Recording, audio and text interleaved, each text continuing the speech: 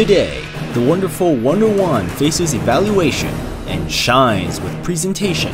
But not all is a brilliant star, as gameplay suffers difficulties. A marvel now unleashed. It is the review on the Gamer Access.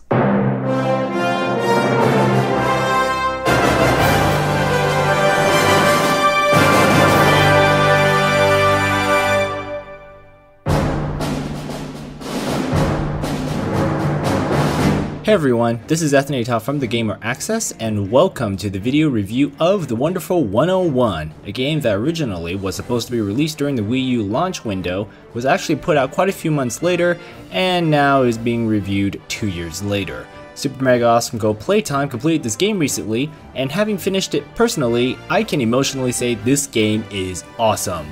Looking closer, well, maybe things are not as peachy, but this is still one must have on the Wii U. The game follows our fellow protagonists who are heroes kind of like Power Rangers and their abilities are centered around their specialty.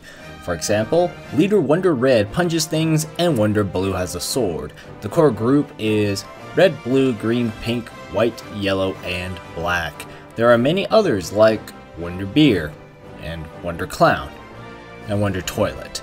The total special hero count is 100, so what do the wonderful 100 face off against?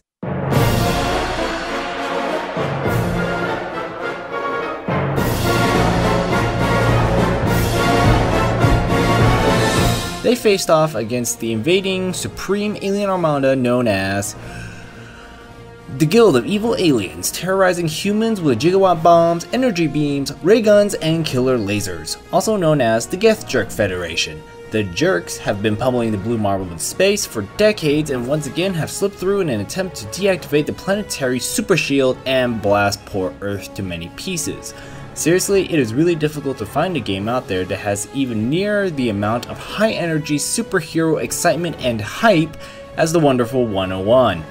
It brings incredible nostalgia of the Saturday morning cartoon. It has shamelessly cheesy protagonists, glorified pompous baddies, a shining assortment of weaponry, and the plot of stopping the elitist jerks from destroying Earth. And it is an incredible plot that is written correctly. It has the plot twist, the suspense, and the voice actors to make it all fall into place.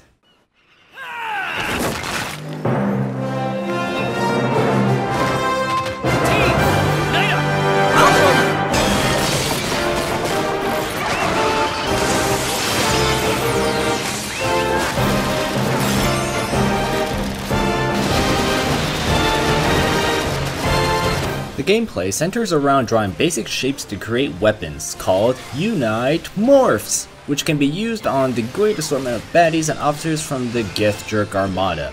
These line up with the main protagonists, so you have punching, sword slashing, whipping, shooting, and several others. Powering these Unite Morphs is a mini army made of other wonderful ones you can find and temporarily empowered citizens. The action is very fast paced, and there is plenty of satisfying beefy ways of taking down all the enemies the Armada attempts to throw at the wonderful 100. Unfortunately, there are some design issues. Figuring out some of the enemies may take a while, and given the very fast nature of the game, a 5 minute fight with 3 waves of enemies can feel like an eternity. In addition, the gameplay sections where the Wii U gamepad screen is required is hopeless, and there are occasional frustrations with drawing and the camera. Aside from that, this game is great fun using the variety of Unite morphs whacking down on enemies hopefully with some efficiency. Even more, there are various unique gameplay segments during the boss fights and some sections of the campaign where the levels resemble Star Fox and even boxing. The best of the gameplay is when there is interaction with the cutscene and story, because you can take part of the incredible adventure of the wonderful 100. The visual style of the game is really commendable because it fits the theme. Check out the color, the character style, the flamboyant design of the jerks, the ships, the wonderful 100, it all fits together. The Saturday morning cartoon, Reborn, the quality of the music is superb as it created its own iconic theme and has a piece for every situation at every moment. The superhero cartoon vibe is pretty much perfect with this game. On the technical end, the game runs pretty well, but sometimes it needs an injection of Unite frame rate that never arrives. There are some pretty long loading times that put the excitement on delay, but other than that, the game runs well.